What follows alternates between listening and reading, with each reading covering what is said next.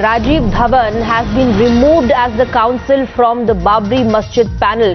And in fact, Dhavan uh, put up a post on Facebook announcing the same that he has been removed from the panel. Now being joined by senior advocate Rajeev Dhavan. Sir, today you put out a Facebook post in which you said that you have been removed from the case and Mr. Madani indicated that you were not well and that is why they are removing you from the case. What exactly was the communication that was sent to you? See, I stand by the Babri cause. I argued for it. I will always argue for it. What has happened is that yesterday at 10:14 when I was getting a routine checkup at a dentist, Mr. Maqbool rang me up and told me that I had been removed from the case. I queried him. I said, Is this a sacking? He confirmed this by saying that he has no choice in the matter. So I said, You can do that. The irony of it is that we had been working on the review for the last 10 days.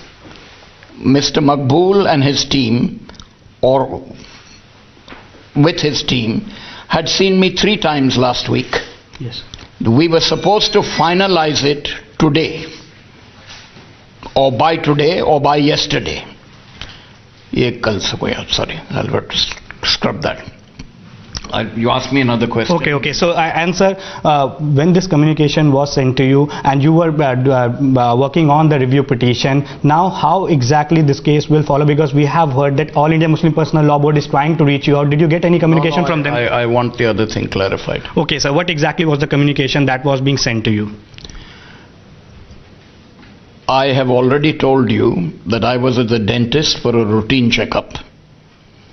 Mr. Maqbool rang me up and he said that uh, I was to be removed from the case.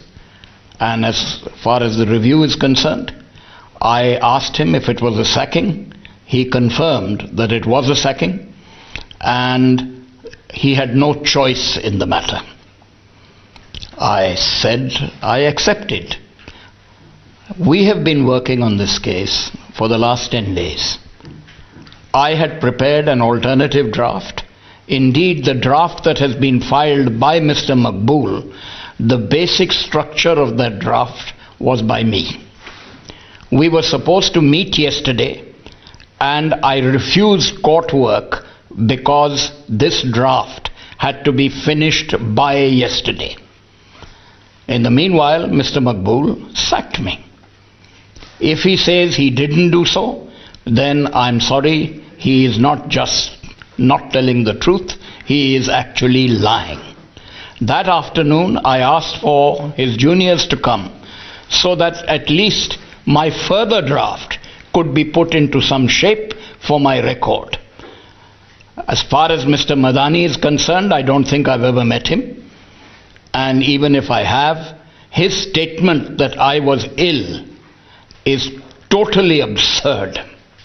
If somebody goes for a routine dentist checkup, can one say that he is so ill that he can work on the case, he can make appointments, but that he was too ill for the purposes of the review and in meeting the deadline that they had imposed, which was yesterday?